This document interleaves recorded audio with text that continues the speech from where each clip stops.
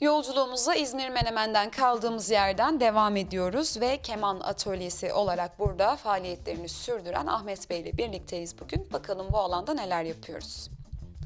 Evet Ahmet Bey sizlerden dinleyebilir miyiz? Neler yapıyorsunuz?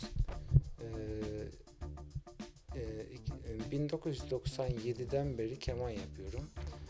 E, Bu mesleği Ege Üniversitesi Konservatuarı Çalgı Yapım Bölümünden 5 yıllık eğitim sonucunda e, 2001'de mezun oldum ve e, o günden beri hiçbir kuruma bir yere bağlı olmadan özel olarak atölyemde keman üretimi ve tamiri yapmaktayım. Peki nasıl gerçekleşti? İş fikriniz nasıl ortaya çıktı? Ee, Ben zaten meslek lisesi okuduğum için orada da e, ağaç işlerini e,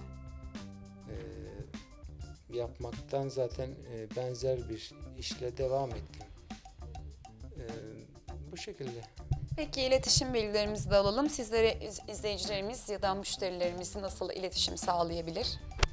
Ahmet Hakan Kalkan olarak sosyal medyada ararlarsa beni rahatlıkla bulabilirler. Çok teşekkür ederiz Ahmet Bey'e. Bir sonraki durakta görüşmek dileğiyle.